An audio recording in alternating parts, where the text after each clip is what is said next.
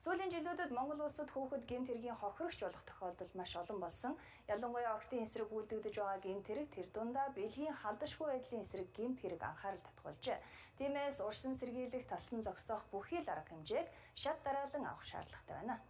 Говьалтай аймагт бага насны хүүхдийг хүчинсэн гэмт хэрэг гарч байжээ. Гэмт этгээдэд ял өгсөн боловч дав заалдах шүүхээр гомдол гаргаж судлагдсан байна. Улмаар хоригчтой чөлөөтэй уулзах боломжтой болсон байгаа юм а. Энэ нь хүүхдийг тавтан гэмт хэргийн золиос болох магадлалыг нэмэгдүүлэх эрсдэлтэй. Тиймээс хүүхдийг хохирогч болохоос хамгаалах хууль эрх зүйн тогтолцоог бий болгох шаардлагатай байна. А эргээд одоо тэр одоо хохирогч аа сэжиглэж байгаа үнтэйгээ чөлөөтэй ингээд уулзахтай ийм одоо одоо явдлыг бол одоо гарахгүй байхад анхаарах хэрэгтэй. Тэгэхээр энэ чиглэлээр бол ажил тодорхой ажлуудыг хийн.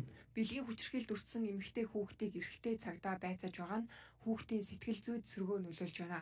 Мөн хүүхдийн эрхийг хамгаалах хамтарсан багийн хүрэлцээ тутмаг байгаа бөгөөд тэднийг чадахжуулах шаардлагатай байна. Түүнчлэн хохирч хүүхдийг хамгаалах байрны хүрэлцээ үйлчлэгээний нөхцөл байдал хангалтгүй байна.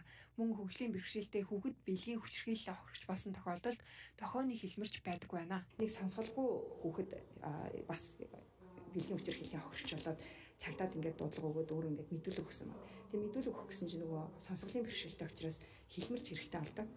Тэгээ мөрдөгч нөгөө аль биесний хэлмэрчийн дуудсан чинь нөгөө хэлмэрчин би энэ хүний яриаг ойлгохгүй байна.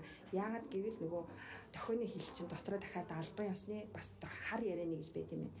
Тэгвэл яг энэ тохиолдолд яах ёстой юм бэ гэдэг нэгдсэн стандарт ерөөсөй байхгүй. 2020 оны жилийн эцсийн байдлаар Монгол улсын хэмжээ нийт 77 мянган гаруй хүүхэд төрүүлсэн ээжүүд байгаагаас 2 мянган буюу 3.7 хувийг 15-аас 19 насны охид эзэлж байна. Хүчинтэй гэмтэргийн улмаас хохирсон 406 хүний 248 буюу 61.1 хувийг 18 хүртэлх насны хүүхэд эзэлж байна.